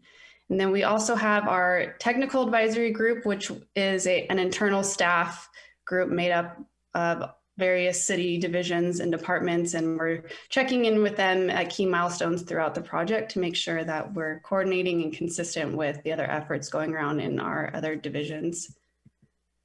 We also, at the beginning of the project, released um, a quick community survey. Um, we were a couple weeks into the first lockdown, and we weren't sure if climate action planning was something that the community was going to want to want to engage on or uh, was important for the city to even undertake. So we put out a quick community survey and did find that 76% of the respondents still thought it was important for the city to act on climate change. And we're using some of the information that came out of that survey to help inform our future outreach efforts. So we did see underrepresentation from youth. So we have geared up a lot of student outreach. We've been giving presentations to Junction Avenue and Livermore High School science and engineering students, and we're working to get on our Youth Advisory Commission agenda for an upcoming meeting. And we've asked some of the same questions uh, of the students that we had in the community survey, and 80% of them said it was still important for the city to act on climate change. So it seems like it's still an important topic for the city to be working on. Um, we are the next big engagement opportunity we have is our online open house. We Obviously, would have loved to have an in-person open house event, but that isn't possible right now. So we've transitioned it over to the project website. The materials will be available starting this week, and then um, people can check in on them, walk through them at their leisure, answer questions, leave comments in the different sections. So there'll be sections for our greenhouse gas emissions, our, the vulnerability analysis, the benefits of addressing climate change, some of the broader strategies the city might Im implement to address climate change. Um, and then after people have time, have had time to look through that information, we are having a live Zoom event on January 28th. Really casual drop in, anyone can drop in anytime between 5 to 7 p.m. and we'll, the project team will be there to talk to people more about the project and their recommendations for what we should have in the plan. And then once our advisory committee has finished refining our draft measures list, we'll go back out to the community again with a public workshop and some targeted stakeholder fo focus groups to get more feedback on that draft measures list. Um, another thing I wanted to tell you guys about tonight uh, is really cool. We were approached by Google, I think back in 2019, and they told us they were adding Livermore to their Environmental Insights Explorer tool. So this is available online right now. Anyone can go to Google and type in Environmental Insights Explorer and search for Livermore, and it'll bring up this interactive map where they've put a bunch of data together about our emissions from buildings and transportation. And you can go in and explore the data and tweak it and see what inter different interventions might do to our emissions. They've also added another layer for rooftop solar potential. So this slide, I zoomed into our Civic Center campus here and you can see it shows you where there's more rooftop solar potential and you can do this for any building in the city. Um, and we are working on a, a, couple other tools with them that are not available yet. They're in production. The first is an air quality tool. So this is an example from London where essentially the Google Street View cars drive around the streets with air quality monitors on attached to the vehicles and they're taking measurements as they drive around the city. So we'll have something soon similar for Livermore where we'll be able to identify kind of hot spots of bad air quality throughout the city and that will help us inform our decision, our decisions moving forward. And then the final tool that they're working on is an urban forestry tool. We are the second city after Los Angeles to get this tool. So we're um, that's pretty pretty cool. If you're if you're zoomed out in the tool, you can see kind of reg- relative to other areas in the city who has better tree canopy cover versus who doesn't. And then as you zoom in on the tool, you can actually see where each tree is and the canopy cover. So again, this having data, spatial data and tools like this will be really helpful for us making decisions moving forward for our climate action goals. Uh, and then quickly, I just wanted to touch on the schedule before I turn it over to Ryan. Again, we've been working on this for about a year now. So council adopted the contract and scope at the beginning of 2020. We got to work working on our technical analyses and getting our advisory committee up and running. And then the committee was reviewing some of those materials, providing recommendations on our new reduction targets. And now they are hard at work refining their draft measures list. Um, and then we'll be heading out to the community to get feedback on everything we've been working on.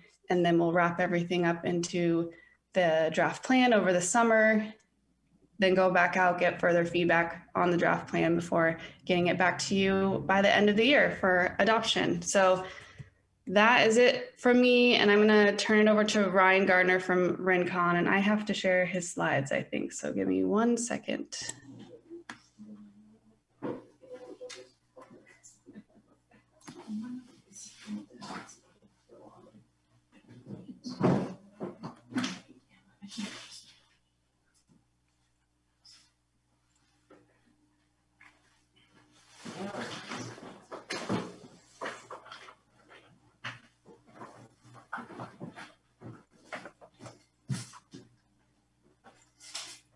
Okay, can you see these slides now?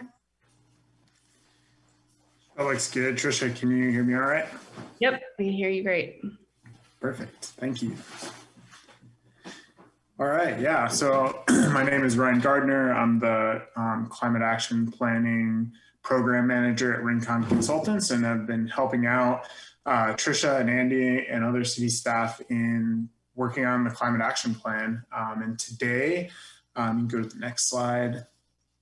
I'll give kind of a rundown of what we've done so far. Um, we'll cover the 2017 greenhouse gas inventory results, talk about the forecast and some of the proposed targets that we have um, developed in conjunction with the KPAC. Um, then we'll talk a bit about the climate action plan and, and how those targets are going to be met, and then get into some of the areas that we've been discussing around mitigation measures and adaptation measures.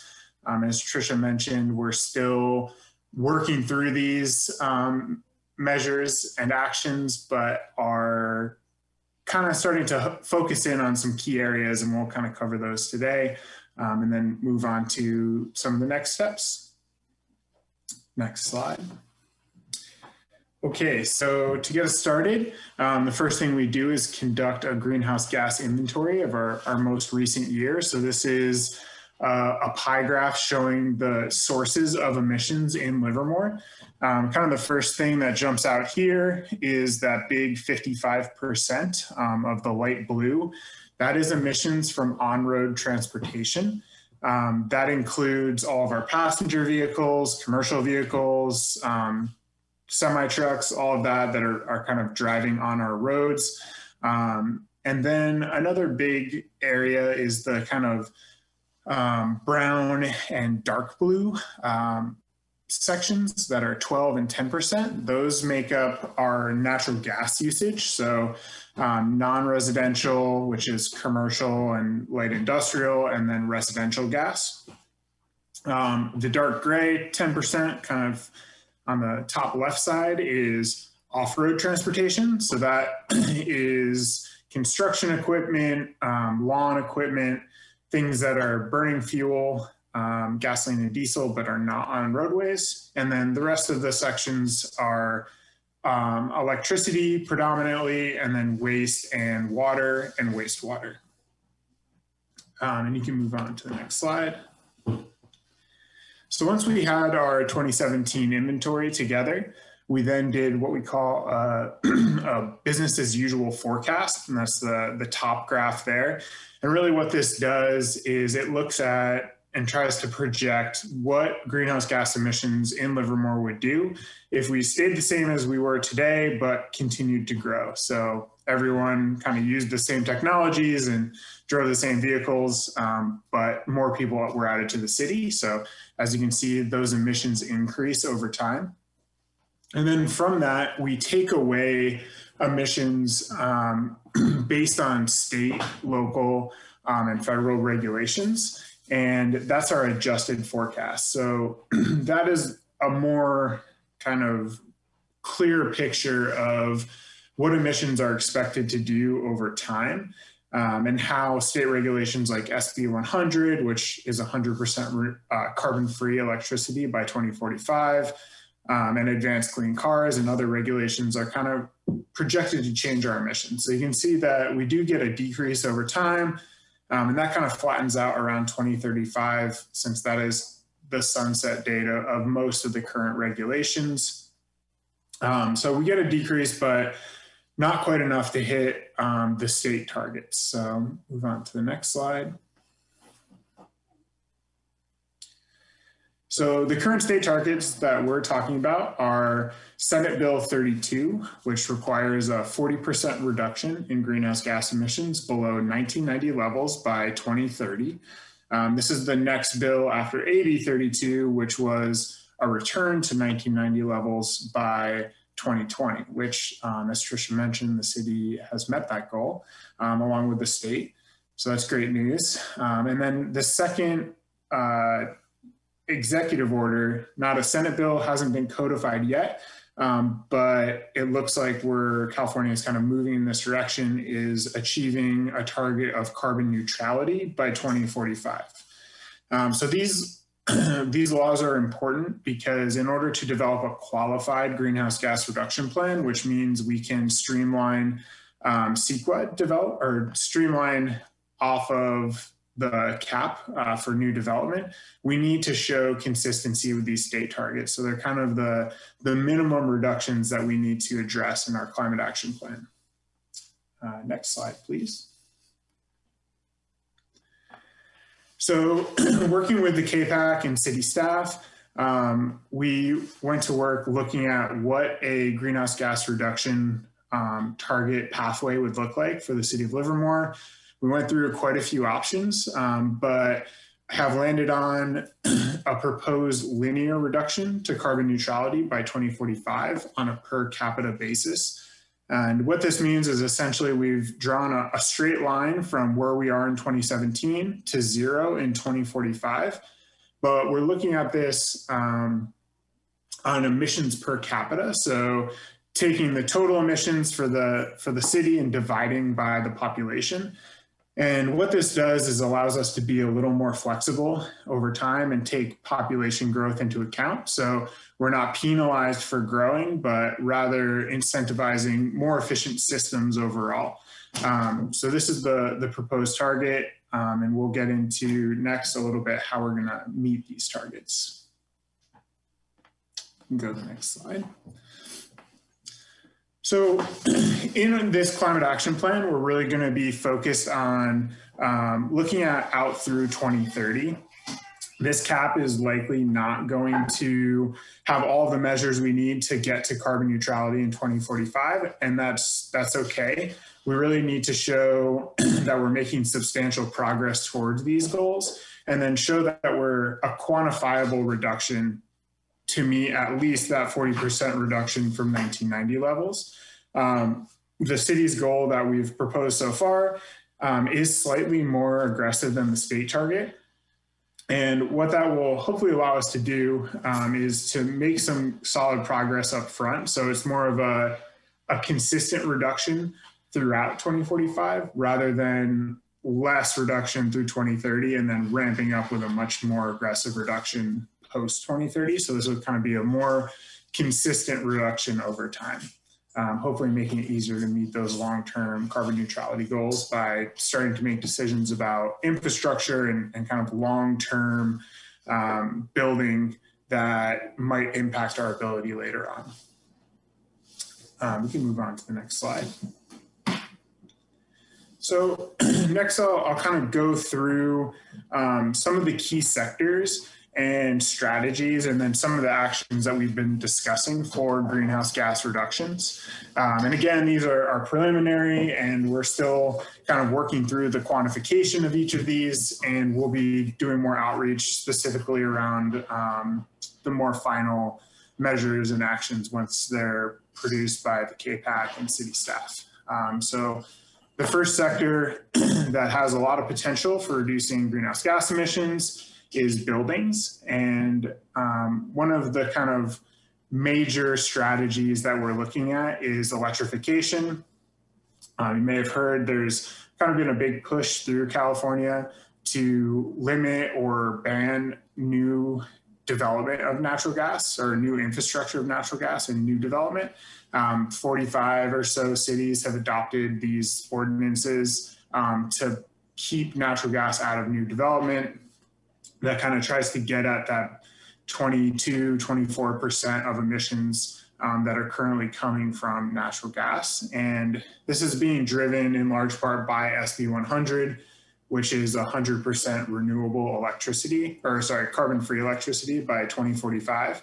Um, so as we electrify things, buildings, vehicles, um, those emissions are going to decrease to zero by 2045. So it's really a key strategy for achieving carbon neutrality. There's also um, more reports that natural gas prices are expected to increase in the future um, and insulating us from those cost increases by building with electric, all electric in the uh, short term is looking more and more like a, a long-term cost benefit. Um, as well, building all electric up front based on the new state studies for our climate zone show that um, we'll see both upfront savings in new construction um, as well as long-term on-bill savings. With existing buildings, we're really starting to look at um, kind of more voluntary actions up front and then moving to more mandatory items over time uh, once costing and things like that are better understood. Go to the next slide. So some of the actions that we've been discussing um, is adopting an electrification ordinance to require all electric new construction in um, buildings that are cost effective. Um, that's currently low and mid-rise residential and uh, most or all uh, commercial building types. Another is opting up to East Bay Community Choice Energy um, for electricity accounts to the 100% carbon free or renewable option by 2025. This would, again, reduce all of our electricity emissions to zero, um, as well as any um, electricity or anything we move from a natural gas or um, fossil fuel fuel source over to electricity. Those would also go to zero. So it's kind of a, a multiplier um, action. And then looking at phasing in electrification for existing buildings, with voluntary efforts, um, incentives, and then looking at more mandatory requirements over time. And next slide. So the next strategy that we're looking at is mobility. So VMT or vehicle miles traveled um, reduction is the first way that we can reduce emissions from the transportation sector. Um, unlike buildings where we can kind of have a direct effect over the types of buildings that are being built through ordinances and the green building code um, vmt is is a little bit more tricky. So we're we need to look at both carrots and sticks in order to get the behavioral change that we're hoping to have. Um, so some of the strategies we're looking at is improving bike and pedestrian infrastructure um, improving shared mobility and looking at ways to improve transit. Um, also looking at kind of coupling those carrots or, or, better infrastructure with some sticks. So some um, things to dissuade people from driving single occupancy vehicles as much. And those could be um, parking reductions or parking maximums for new development rather than minimums, transit um, oriented development requirements or transportation demand management requirements, um, and then even dynamic pricing or pricing in general for um, parking places. The other side of this mobility strategy is electrification of vehicles. So again, we can't um, we can't require electric vehicles to be used, but we can kind of start to prepare for this this switch that's going to happen. Um, we're already seeing state legislation requiring um, the sale of electric vehicles by 2035. Um, so we're just going to be looking at ways to prepare for this shift and make sure that people have the infrastructure they need to, to make the switch to electric vehicles. Um, next slide, please. So some of the strategies we're looking at here um, are EV charging ordinances for new construction, uh, making sure that we're not wiring or necessarily installing um, chargers, but making sure new construction has the um, conduit in place so that we can cost effectively run wires later on. Um, it's pretty expensive after a building is developed to add this infrastructure, uh, usually like two to three thousand dollars, where upfront during construction it's only two or three hundred dollars. So kind of an order of magnitude different there. Also looking at opportunities for partnered installation of public charging stations or public public private partnerships um, which will allow the city to increase the number of EV charging stations in town um, without having to pay for those fully out of pocket. Looking at parking meter rates and dynamic rates um, in certain portions of the city, and some of those revenues can be put into some of our more expensive options, which are like bicycle and pedestrian um, and trails uh, infrastructure, especially those outlined in the Trails Active Transportation Plan or the Active Transportation Plan. Uh, next one, please. Um, and then also we've got waste, um, not as big of a sector as the other two that we talked about with buildings and mobility, but there is quite a few opportunities here. Um, our primary focus in waste is going to be removing organics from the waste stream. Um, SB 1383 is a, a, pretty stringent state requirement that has been passed down to reduce um, organics in the waste stream by 75% um, by 2025 from 2014 levels. And so we're going to be really be focusing on this kind of composting organics diversion, which makes up a majority of the emissions in the waste stream. Um, so we can go to the next slide.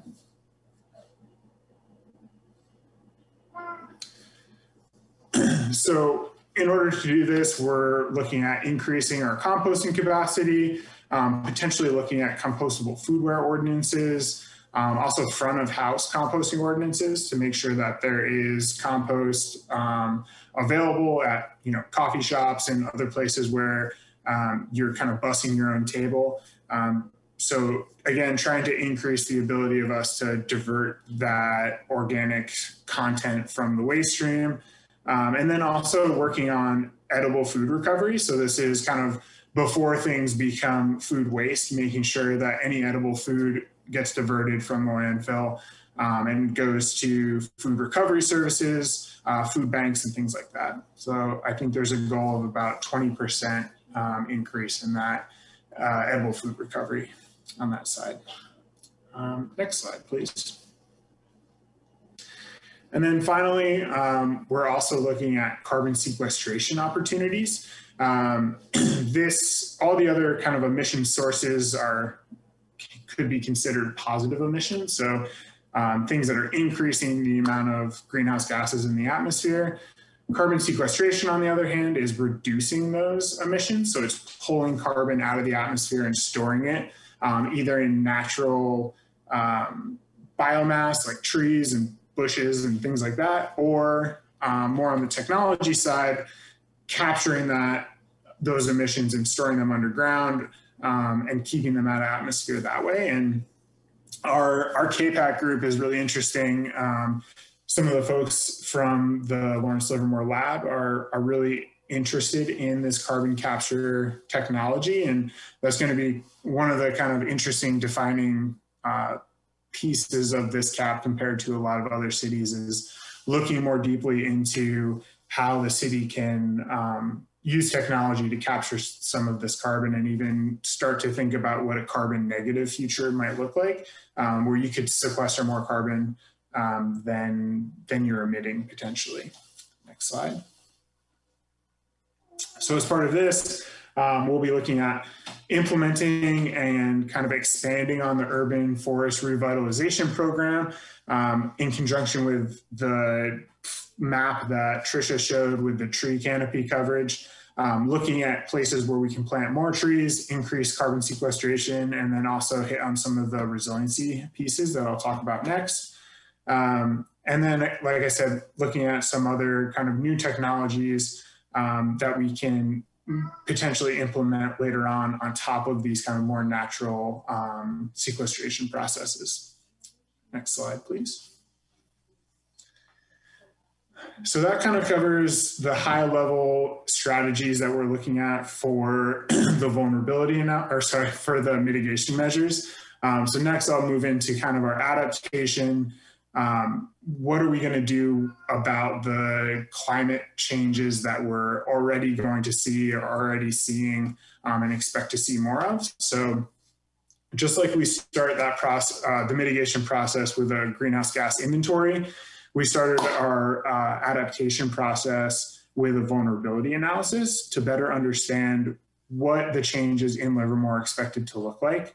Um, the results of that kind of briefly, we expect to see both maximum and minimum temperatures increase in the near term. Um, and that's with a really high certainty. So our, we're expecting to see more heat waves, um, more days above 100 degrees, um, and more extreme heat days. And then on the precipitation side, we're expecting to see a lot more variability um, and intensity.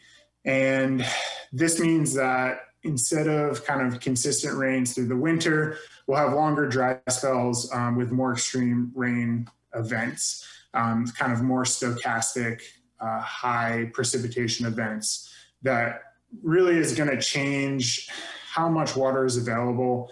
Um, it's going to be a lot harder to store that water. Um, and we're also expecting to see kind of statewide less water stored as snow, which decreases water availability in general. And then finally, um, wildfire risks in, in and around Livermore. Um, we're not expecting to see a lot more wildfire in Livermore, but as we saw this year, wildfires don't necessarily have to take place here um, to have pretty significant impacts due to wildfire smoke. Um, so we felt a lot of that already, and it's going to be a big part of what we need to plan for in the future. Uh, next slide, please. So some of the adaptation measures that we're looking at, um, adopting policies to just require the consideration of climate change impacts in city plans and construction projects. So, you know, making sure that we're thinking about um, if projects are going to be developed for how things are going to be in 50 years, not just for how they are today.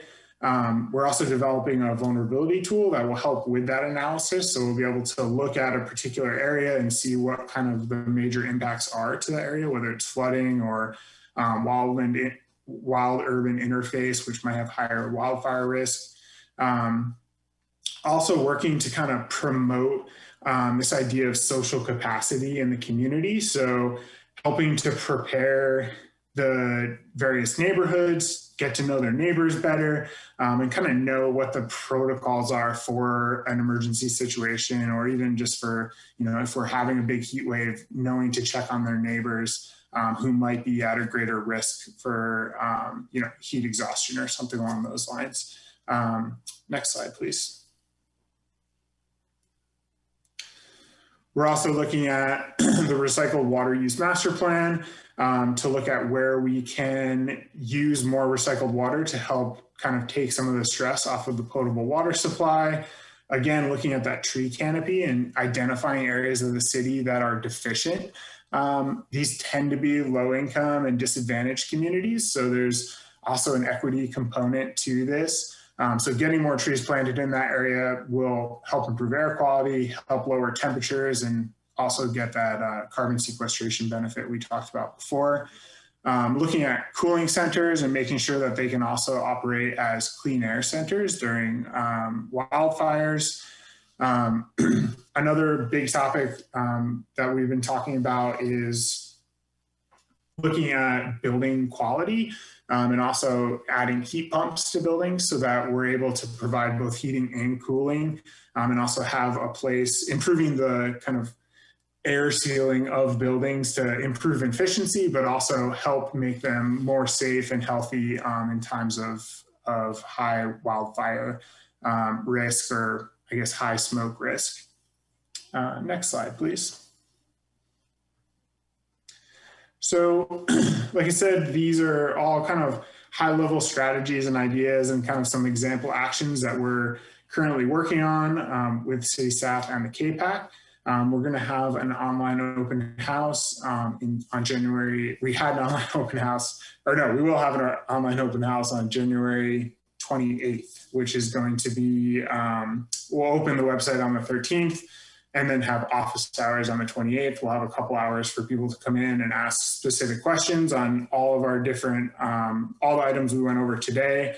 Um, and then we'll be following up with the public um, with workshops on the draft measures to allow more time to provide feedback and kind of further develop these actions specifically for Livermore. And I think that's it. Thank you. Happy to take any questions. Do we, uh, I see uh, Councilmember Carling has raised his hand. Ryan and Tricia, thanks very much for that very complete report. I I support the electrification idea. I think that's a really good one. I was just wondering, you never mentioned the word hydrogen. Does that play a role here at all? Fuel cells? No, we have not been talking much about hydrogen. Um, I don't think it's it's completely out of the race yet, but we just have seen such a such a big push on the electrification side with battery technology, um, electric vehicles really seeming to come ahead of hydrogen, um, but I think it remains to be seen exactly how that ends up playing out. Well, the California Fuel Cell Partnership is moving moving apace uh, and uh, implementing more filling stations and that kind of thing. So they certainly think there's an opportunity for fuel cells in the future.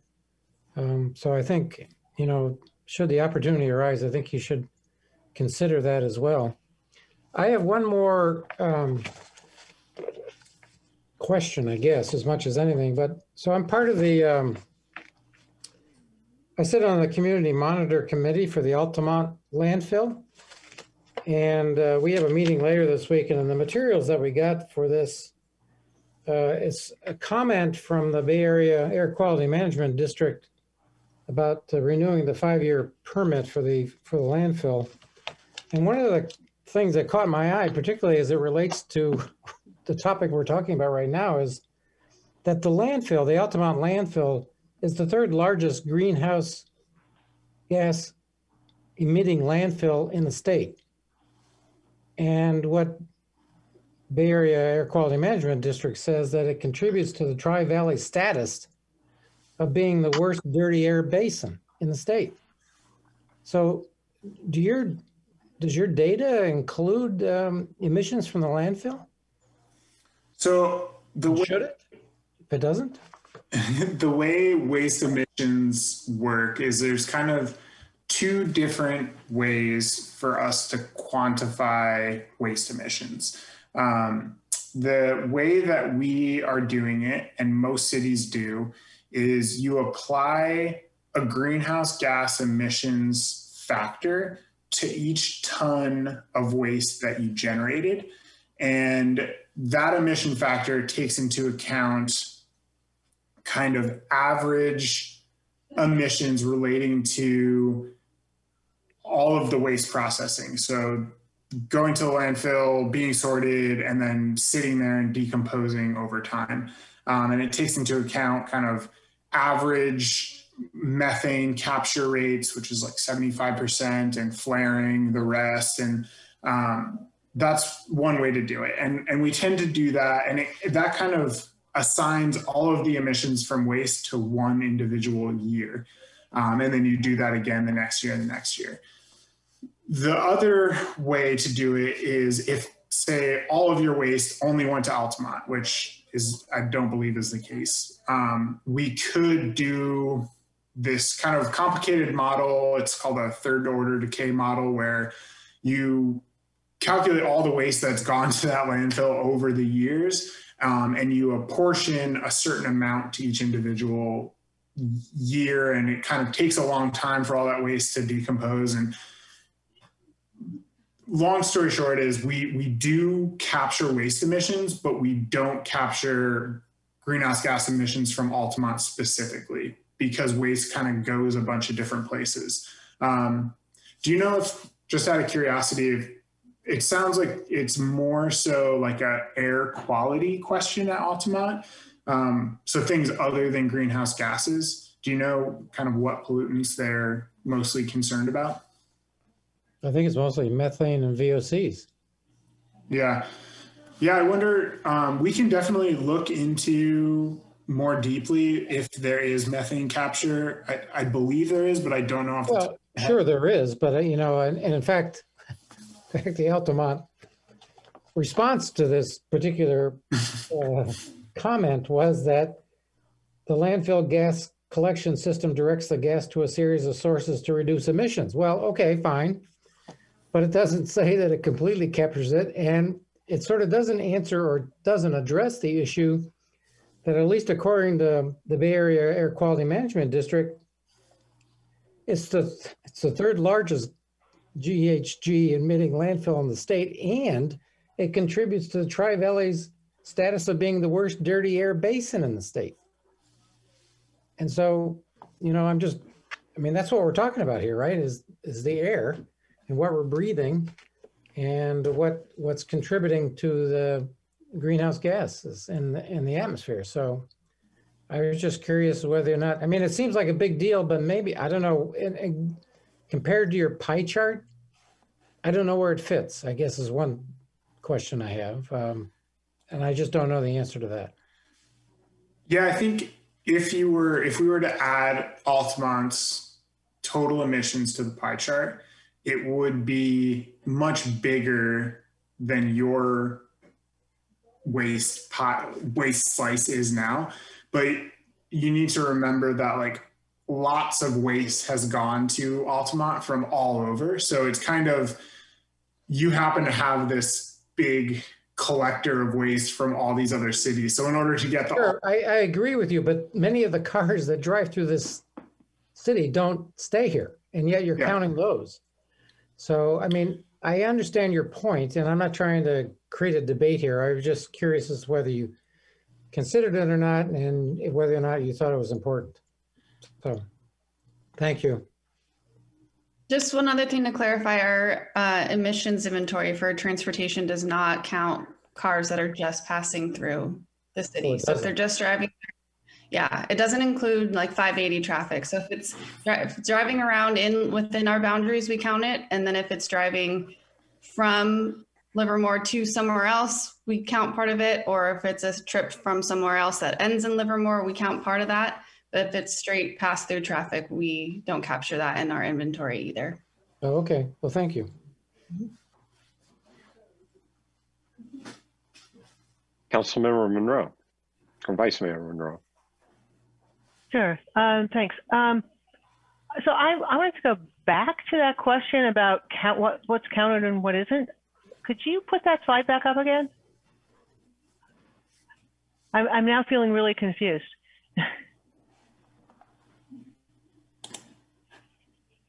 um,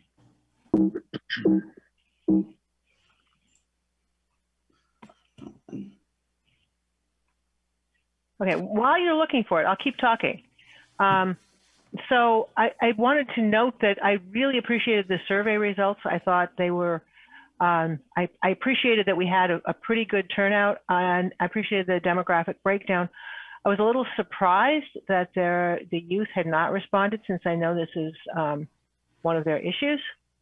Um, so I'm really glad to see that that's going to be something you're following up on. Um, and I'm just, I'm just seriously puzzled by that. Okay, so here we go. Uh, back to this. So what you're saying is this blue, this blue, this is 55%, right? And that 55% does not count the traffic that comes on 580 every day?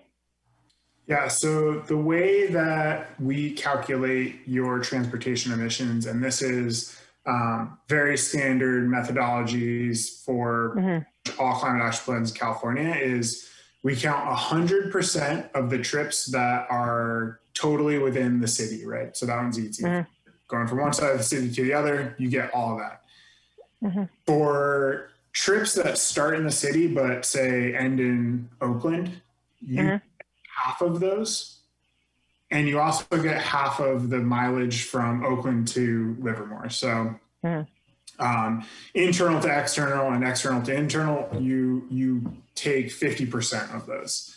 And then we completely disregard pass through um, because that's somebody else's uh, external, internal, internal, external, Mhm. if that makes sense. It, it does, except for the part where, um, as, as with Councilmember Carling, I'm wondering what that does to our actual, I mean, this is sort of similar to, and great, we're not generating the smoke that, you know, filled our lungs all through August. Is there, does that mean we just can't deal with it? We, it's not, we can't make a change. And so this is really what we have control over versus what we don't have control over. Is that sort of a way of thinking about it? Yeah, that's the idea. We try to use, um, in general, we try to include emissions that are under your operational control. So something that, yeah, Okay. you kind of have a role in moderating, right? There's, you, it would be really hard for Livermore to, you know, put roadblocks up on 580 and stop the traffic through. Um, it's just, you're in a bad spot and for 580. Um, Well, I'm, I was thinking we could build a wall, but you know, never mind. um, so, um, oh, okay. In, in, in, in all seriousness, if we wanted to generate that, we're talking. If we're thinking about this as regional issue, if we're thinking about this as a statewide issue, if we're thinking about this as a county issue, which um, you know, the, the, the fires are, are statewide, the uh, landfill is county, and then the pass through is, you know, regional. And we wanted to advocate for Livermore at those levels. Could we get that information? Because we can't, we don't have control over it as a county, but we certainly do have relationships where we're advocating for some of that. Does So- that make sense? Are you requesting like the number, the VMT that goes through 580 every day? I, I'm just wondering, well, I'm wondering, first of all, can we get, for example, the VMT that goes through Livermore every day? Um, what Councilmember Carling was asking in terms of what the result is from the uh, landfill. And then I'm also wondering about the effect of, you know, again, the statewide effect of, of the, the wildfires, which we have utterly no control over. Um, but that's a much larger issue that if we advocate for or our residents advocate for, we, you know, we have some data to, to, to, put around that. So is that data available to, you know, fairly easily? Yeah, I don't have it currently. I think, you know, for Altamont and 580, it's not data that we have as part of this effort. Um, hmm Okay. Yeah. Okay. Um, and uh, would it be possible to get, and how much, how hard would it be to get that?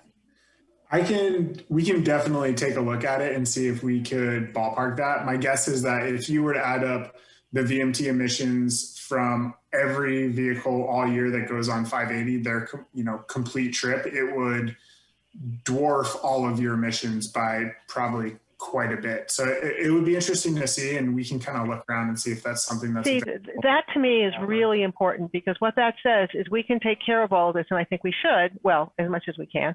Um, and we still are left with a huge problem. And so as a city, we have, uh, I mean, you know, it's like living in uh, a, a- a neighborhood and all together, maybe you can work together. So this strikes me as being actually fairly important to get, uh, to get that information. Yeah, would, it, it, I just on that, I think that's a really interesting uh, note and kind of climate change in general i- is that right? Like you can always scale up to a, a bigger thing and Mhm. like you know our emissions don't count as much or like aren't aren't as big of a deal because there's like this bigger emission source. Yeah. But I think what it comes down to is is this idea of operational control and making the making the kind of common sense and cost effective um, and data driven changes that reduce your emissions and everyone else does those same things then the traffic on 580 goes down anyway if if that makes sense It, it, it does, and I'm I'm gonna. I mean, everyone's gonna now roll their eyes, but I'm gonna say it's a both and. Um, it's you know, I am absolutely not saying we don't do this because there's bigger problems. Absolutely not. But I'm also saying that we should be we we should be building regional partnerships. We should be building uh, uh, uh, um, county partnerships to solve these larger problems at the same time. That's that's all. So. Um, um, I had a couple other questions here. Um, speaking as the um, representative for EBCE, I think the opt-up is great. Um, Livermore residents haven't seemed to feel quite as wonderful about that. So uh, as we're looking at that, I would love to see ways of, of, of reaching out and making the argument um, that this is so again, turning to that local issue, that this is something that we can we can do at a local level. Um, um, I'm really concerned with the socioeconomic issues that this that are applied here, um, particularly around adaptation. Um, I know that one of